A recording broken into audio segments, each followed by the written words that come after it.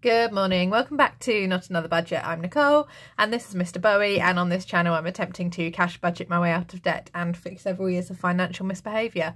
And if that's something you're interested in following along with, please don't forget to stick around and check out the other content that I've created for you on this channel. Now, there was meant to be a midweek video, I completely forgot to upload it. I filmed it, I just didn't get as far as uploading it and then I was like, hmm, normally I tend to get, you know, at least a couple of comments and interactions. What's happened? Oh, that was me. I didn't upload anything. Uh, I realised that yesterday afternoon and I was like, well, I'll just do my normal savings challenge Sunday video today and then move the teeny tiny Happy Mail haul, um, which was got with the last of my Christmas gift money, because uh, I got a little bit of Christmas gift money and uh, split it across a few things. Some of it went to a Temu haul, some of it went to Ikea and some of it, tiny amount of it went on um, some Etsy Happy Mail and uh, that'll be, yeah, it was just a quick little eight minute video, but that'll be coming out in the next couple of days. And um, yeah, normal savings challenge Sunday. I still haven't gone through and actually worked out like what I need to put on my debt trackers. Um, I've done it in my budget, but in terms of like colouring in, for example, how many balloons and balls and stuff, I've not gone through and done that yet. Um, because I just haven't had the time because it's been a hefty, hefty week of work. But we're back with one little pot of change this week um, and the penny savings challenge and the £2 challenge. So let's go through and get this sorted. Now, if this is your first time catching this video, I am not the best at savings um, at all. I really, really struggle with it. And I find that I need like quick wins and I need to make progress quite quickly. So whilst I have set myself the challenge of working through a 5k savings challenge binder, um, I've which is going to take me a while and a Christmas savings kind of section, um, it's going to take me a while. I do, I know that like, but I also need some quick wins. So what I'm doing is I'm taking one pound coins, two pound coins, 50p's and 20p's and putting them towards the two pound challenge. And this is going to go on some form of house related um, replacing a kettle or getting a new bookshelf type fund. And then the penny savings challenge is, it doesn't have a job yet. I'm hoping it's not going to take me a year. It's meant to take me a year. I don't have the patience for something to take me a year in small change. So um, I work this one largest to smallest and then the £2 challenge is, as as it explains, you, you save up £2, blah, blah, blah. Anyway, first of all, I'm just going to pull out all of the 2p's, 5p's, 1p's and 10p's. Those are the denominations that are making up the uh, penny challenge. Again, it's not my favourite, but I am determined with a very high level of stubbornness to complete this challenge. Um, 10, 30, 40, 50, 2, 4, 6, 57p this week. And I can do that one straight away.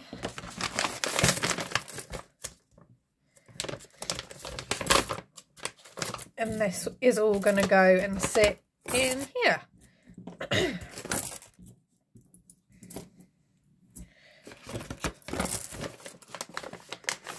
okay, and now we come to the £2 savings challenge. So let's pop you back yeah, I'm definitely slightly behind on my money admin this week. Um, lots of kind of deadline changes and things like that that are just causing a little bit of aggravation within my training and just not getting told things we should be on a timely manner. So there we go. £2, £4, £6, £8, £10,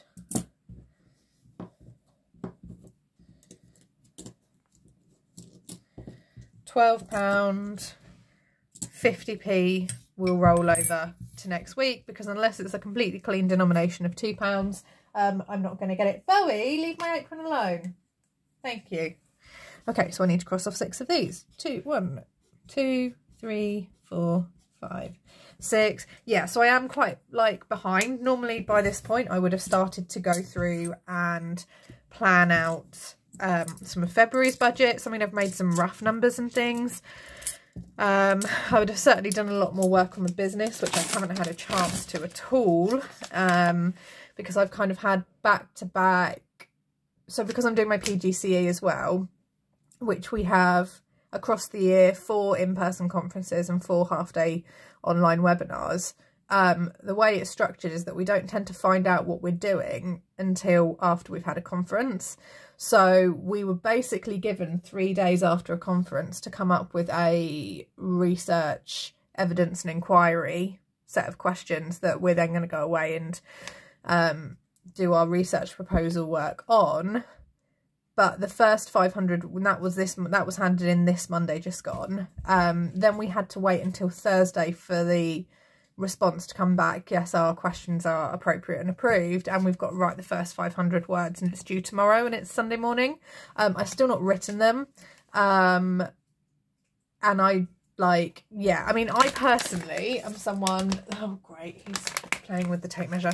Um, i'm someone that um, like I to do to ensure that I'm doing a good job, particularly if it is a research based piece of work. I want to be sure that I've carefully considered.